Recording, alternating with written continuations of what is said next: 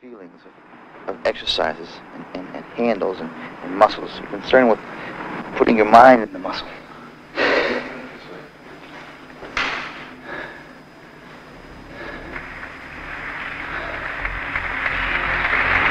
Remember also that every man in this competition is already a world champion.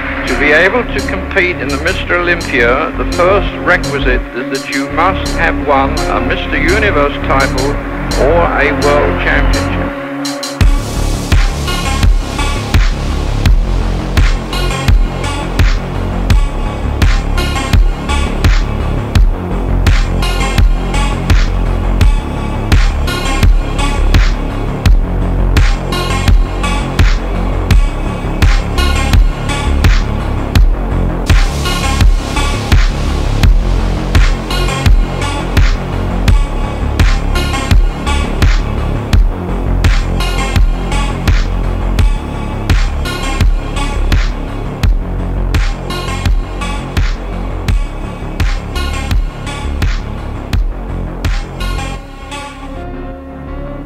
Had a good time. All I know is I'm the best I can be right now.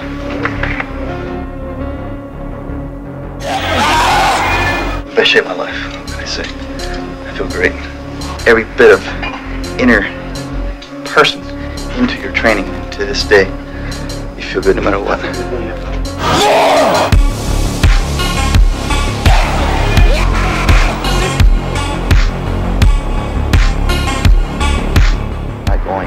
Uh, I always had this craving for more. I compare this to uh, Jonathan, Jonathan Livingston.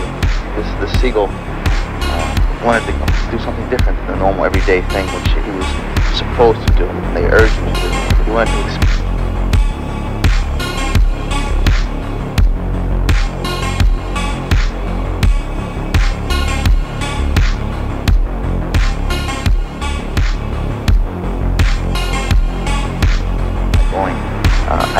craving for more. I compare this to uh, Jonathan, Jonathan Livingston Seagull.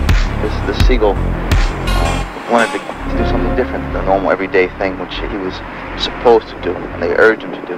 He wanted to expand and to wonder and to, to do something unique and artistic, and not, not only not only in, in the sense for expanding uh, his artistic ability, but for this in the sense of his expanding his expanding his awareness to me it's the same type of thing I associate with my bodybuilding. So naturally, the dedication I have for the sport is very intense.